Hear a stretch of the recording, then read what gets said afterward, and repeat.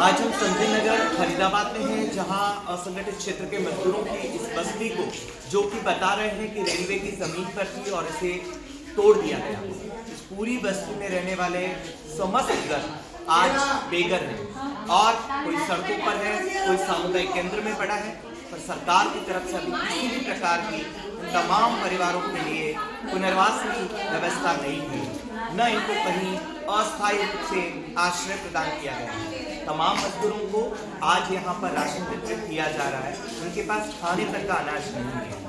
सरकार से अपील की जाती है, हरियाणा सरकार से, कि तत्काल इन तमाम परिवारों को जो है पुनर्वास मुहैया करवाए।